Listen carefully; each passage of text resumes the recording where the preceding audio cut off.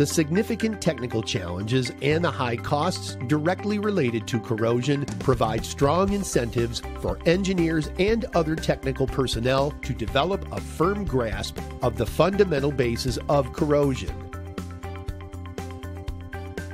Understanding the fundamentals of corrosion is necessary not only for identifying corrosion mechanisms, a significant achievement by itself, but also for preventing corrosion by appropriate corrosion protection means and for predicting the corrosion behavior of metallic materials in service conditions.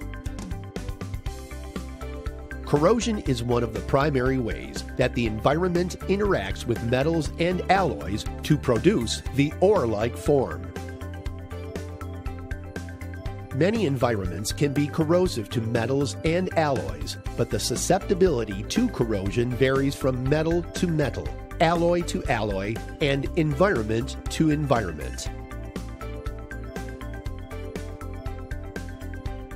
Environments that foster corrosion include air, moisture, and high temperatures, fresh, distilled, or salt water, rural, urban, and industrial atmospheres. In general, the inorganic materials are more corrosive than the organic materials,